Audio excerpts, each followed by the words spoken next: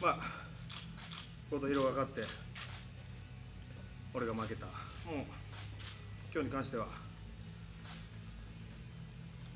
もうそれ以上でもそれ以下でもないし、まあ、向こうの方が今日に関しては上だったと、まあ、ベッドに関しては特に思い入れがないって前から言ってて。まああいつに負けたことも悔しいし腹が立つしあとやっぱりベルトがいつもあってなんだろう。いつも別に興味ないって思ってたけどいざなくしてから気づくもの。恋人かよ。俺はだから言ってる通りとりあえずなんで昨日前からのに誰も教えてくれなかったの。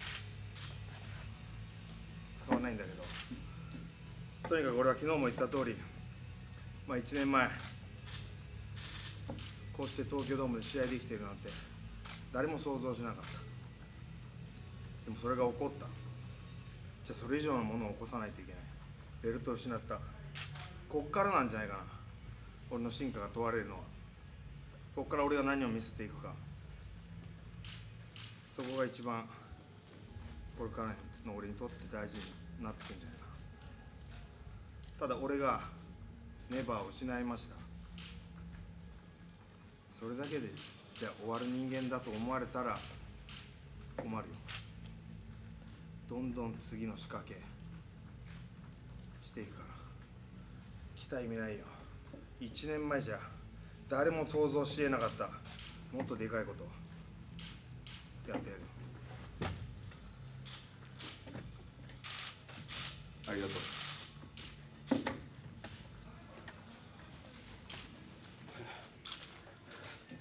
見事な勝利おめでとうございます。ありがとうございます。改めてそのネバーのベルトを健太から奪った今の気持ちっていうのを聞かせてください。まあ、健太には悪いけど今ここにネバーのベルトがある。これが現実です。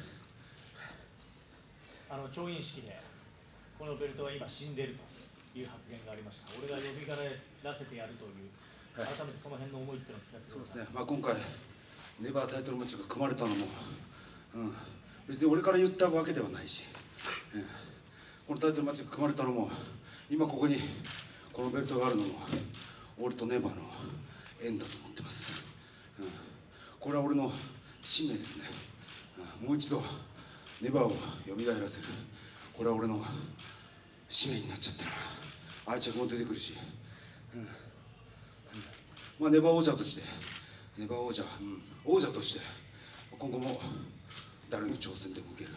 それは変わりないけど、まあ、今回一つだけ注文を出させてもらうなら次の挑戦者はこのベルトが欲しいやつに限らせたいと思います、はい、あのかつてこの東京ドームで柴田さんと戦って、はい。そして取ったベルトでもありますけどもやっぱ特別な思いが後藤選手の中にありますか？そうですね。あの、まあ、今回さらに強くなったというか、うん。まあ柴田との因縁もある健太ですからその辺も全てがつながってたのかなと、うん。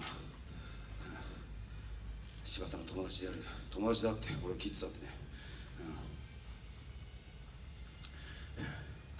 その友人を裏切る行為、それが最大のあいつの罪だと思ってますんで、うんまあ、今回本当柴田の思いも胸にね戦ったし、うんいい結果がついてきて本当に良かったと思ってます。